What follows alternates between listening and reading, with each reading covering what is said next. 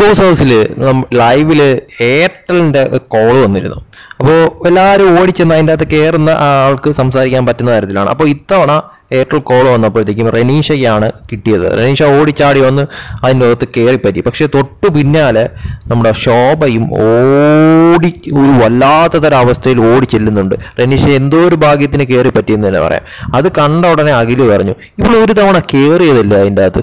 പിന്നെ എന്തിനാണ് വീണ്ടും ഓടിച്ചാടി കയറി പോകുന്നത്? മറ്റുള്ളവർക്ക് വിട്ടുകൊടുക്കണോ എന്നുള്ള ഒരു മനസ്സില്ല എന്ന തരത്തിൽ അഖിൽ സംസാരിക്കുന്നുണ്ടായിരുന്നു അവിടെ. ശരിയാണ് കാരണം ശോഭ അതിനുള്ളിൽ ഒരു തവണ കയറിയതാണ് അത് വേറെ രീതിയിലുള്ള എന്താ പറയുക സ്പോൺസർ ടാസ്കോ അല്ലെങ്കിൽ വേറൊരു തരത്തിലുള്ള ടാസ്കോ കാര്യങ്ങളോ ഒന്നും അല്ല അവർക്ക് വീട്ടുകാരായിട്ട് സംസാരിക്കാൻ പറ്റുന്ന ഒരു ഇതാണ്. ശോഭ ഓൾറെഡി ഒരു തവണ സംസാരിച്ചു കാര്യങ്ങളെല്ലാം പറഞ്ഞു എല്ലാം ചെയ്തു. അത് കഴിഞ്ഞിട്ട് ഇതാ വീണ്ടും ഇപ്പോൾ റിങ് ചെയ്തപ്പോഴത്തേക്ക് വീണ്ടും അതിന്റെ പിറകെ നിന്ന് ഓടുകയാണ് അതിന്റെ അകത്ത് കയറാനായിട്ട് അവിടെ മറ്റൊരാൾക്ക് ഒരു അവസരം കൊടുക്കുകയല്ല അത് വീണ്ടും ശോഭയ്ക്ക് തന്നെ കിട്ടണമെന്ന തരത്തിലാണ് ശോഭ അതിന്റെ അകത്ത് കയറിയത് എന്തായാലും അതിൽ പറഞ്ഞ ആ ഒരു കാര്യം ശരി തന്നെയാണ്.